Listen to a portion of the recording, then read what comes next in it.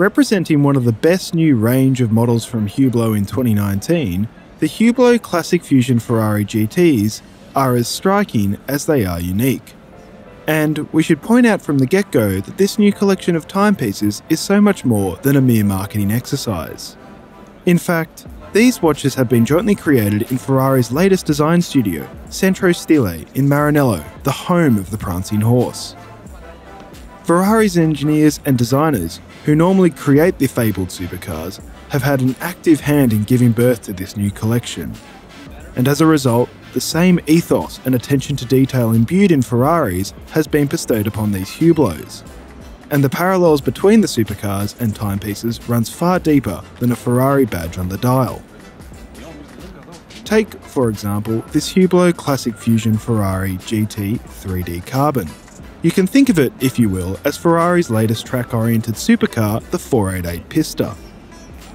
Its uniquely rounded 45mm case is hewn from carbon fibre, just like you'll find on the centrally mounted gear selector console of the Pista. Similarly, the black skeletonized dial features styling cues reminiscent of the clock faces used on the supercar. For example, the subdial located at 3 o'clock, which displays a 60 minute counter, has been specifically designed to look like a Ferrari's rev counter. And even the day complication window, which is slotted into the subdial, looks like a gear indicator. It's the same story with the numerals that are dispersed around the edge of the dial.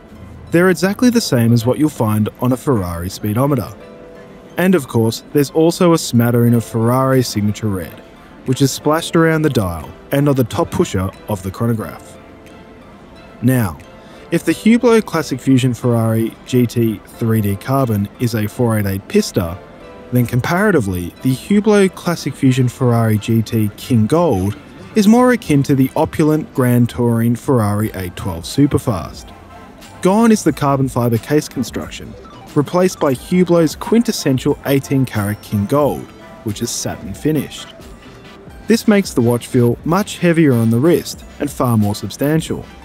And while the sporty aesthetic design of this watch is maintained overall, the use of precious metal in place of carbon fibre gives the watch a far more luxurious appearance.